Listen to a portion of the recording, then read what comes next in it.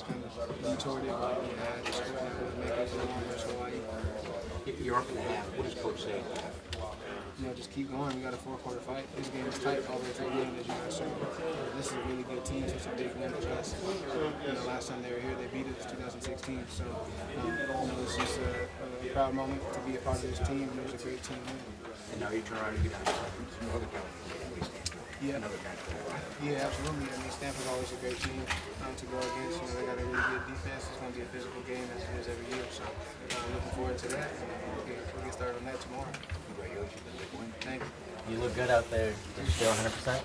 Yeah, I feel good. Yeah, I feel good. Uh, sat out last week, so I came back this week uh, 100%. Hey, Jace, how was the like feeling last week? You know, when you do sort of miss your first game, right? And and just from that feeling to today.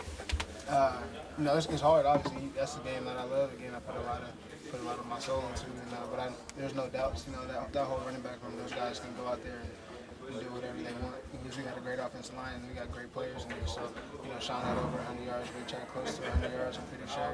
Uh, you know, those guys are going to carry the flag. So, you know, it's obviously hard to watch to watch that game. But you know, I was I was proud of the team win. And, I knew those guys were going to go out there and handle business.